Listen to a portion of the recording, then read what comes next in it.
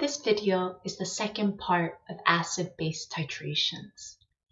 As a recap, acid-base titrations are neutralization reactions between an acid and a base. And typically in the experiment, we're adding a reagent called a titrant to an analyte. The titrant is usually either a strong acid, like hydronium ion, or a strong base, like hydroxide. In the last video, we looked at analytes that were either strong acid or weak acid, and they were being titrated with hydroxide. At the end of today's video, I'll return to acid again, but now for a polyprotic acid. But first I'd like to start with the opposite scenario, where now our analyte is either strong base or weak base, and now as a titrant, we will use the hydronium ion. In the first example, we'll look at the titration of a strong base sodium hydroxide with the strong acid HCl. So HCl and sodium hydroxide being strong will fully dissociate to form hydroxide ions and hydronium ions. In the plot below, this titration is represented by the gray curve that's labeled A. And this is a pH titration curve where along the y-axis is the pH, along the x-axis is the volume of added HCl. Initially, we don't have any added acid, and so the hydroxide concentration is just the original concentration, and that would correspond to a really basic pH of 13. As we add acid, we start to react away that hydroxide. And so we would expect the pH to go down.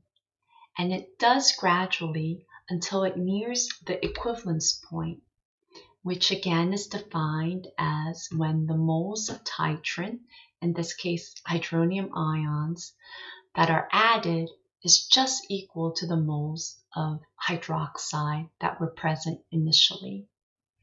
So at this point, because they're equimolar, they basically perfectly annihilate each other such that their concentrations are about zero and their pH then would be 7. The hydronium concentration will approach 0.1 molar, which is that of the titrant, and that corresponds to pH that also approaches 1. In the second example, we'll look at the titration of a weak base ammonia, again using the strong acid HCl. This titration curve is now shown in red and labeled B. So you can see the strong base titration underneath it, and there's again key differences depending whether it's a strong versus a weak base.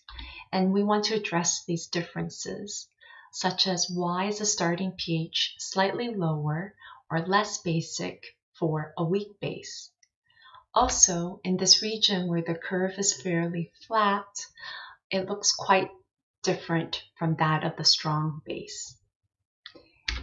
The equivalence point, where the moles of added HCl just equals the moles of the base, also has a different pH. Now the pH is less than 7 or acidic. After the equivalence point, you can see that these curves line up nicely because we're just building in hydronium ions in both cases. Let's address the starting pH and why it's slightly lower. Remember, ammonia being a weak base can also dissociate water to form hydroxide and its conjugate acid ammonium ion.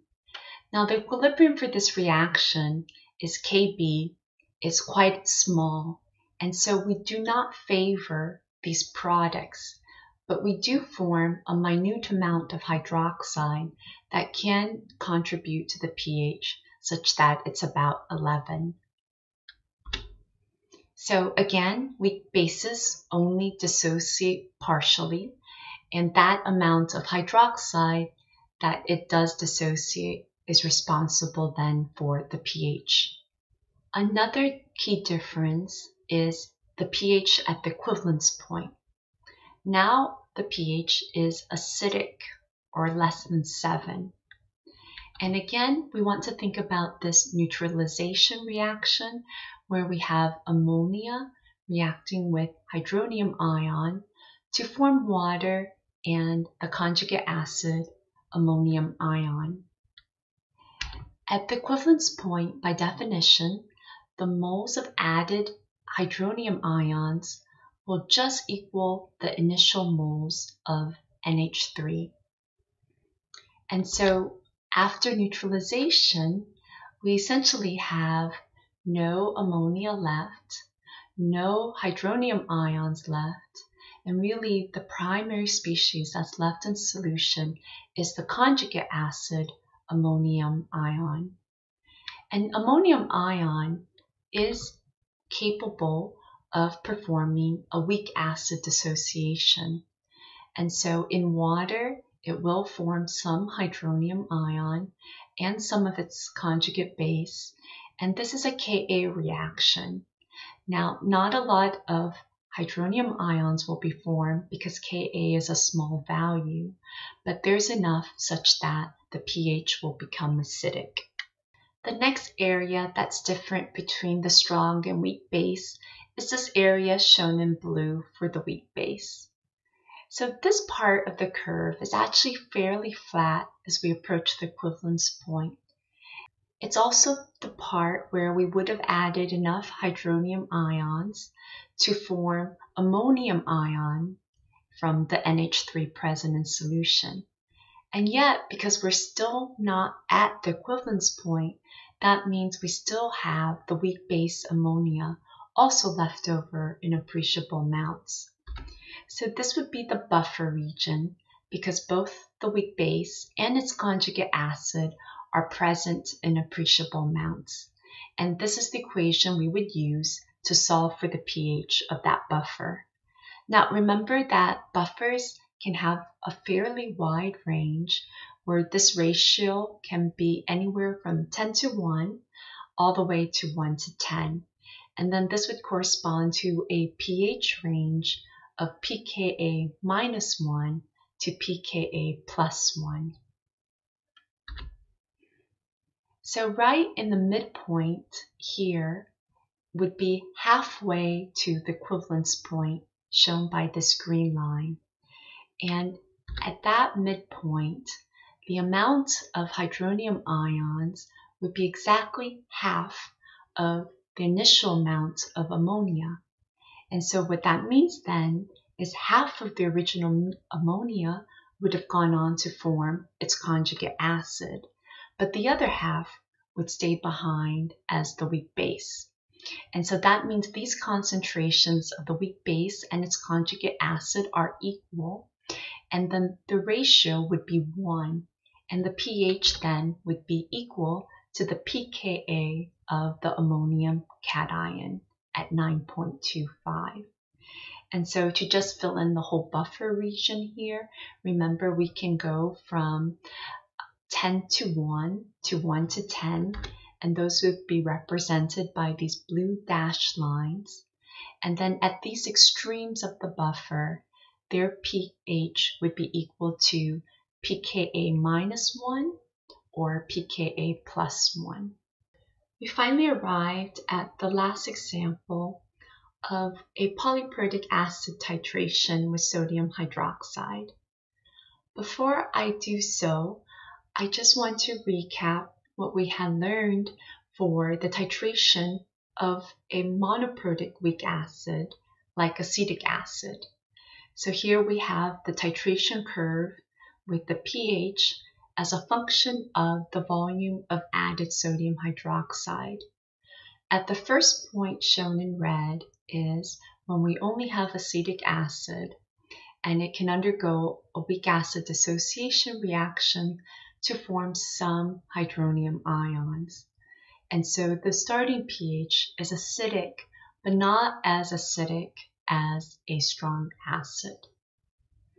As we add base, we slowly build an acetate to the point where we reach the midpoint of the buffer region, where acetate and acetic acid are in equal concentration. Here the pH will now be equal to the pKa of acetic acid. As we continue to add base, we reach a point where we have added enough base that it reacts away all the original acetic acid. And what's left behind is the conjugate base acetate. And conjugate base can dissociate in water to form hydroxide, and therefore the pH at this point is basic.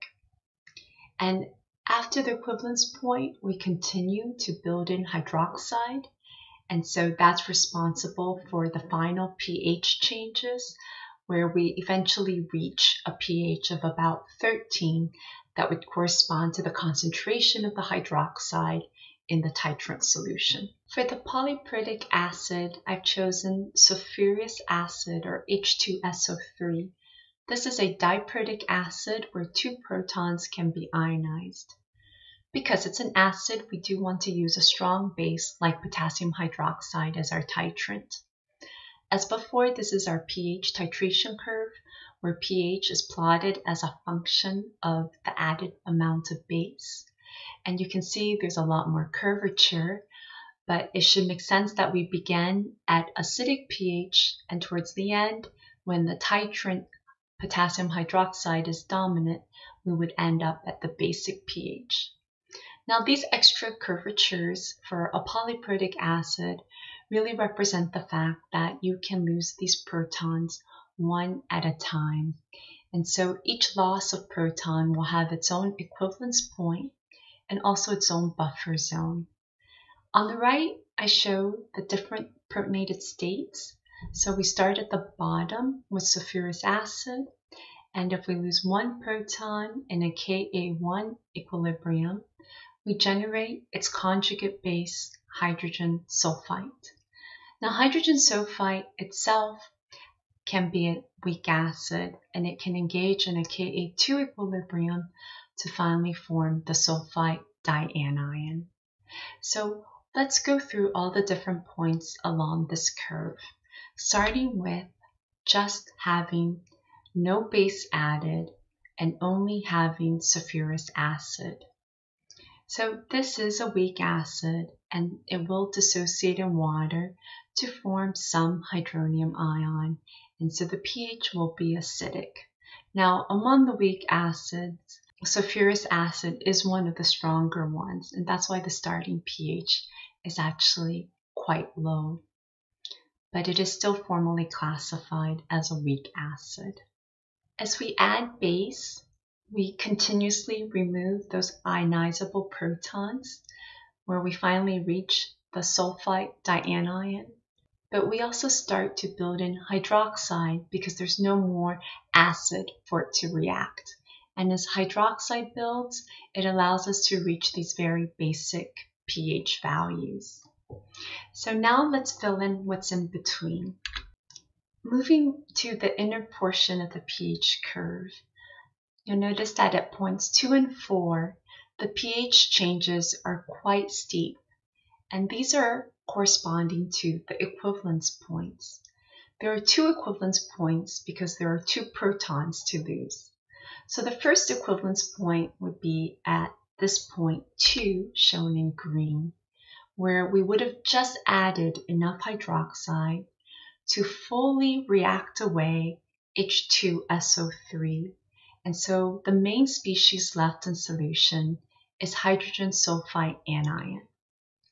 This is an amphiprotic ion, meaning that it can either engage in a Ka or a Kb reaction and depending which is favored, that will determine the pH at the first equivalence point.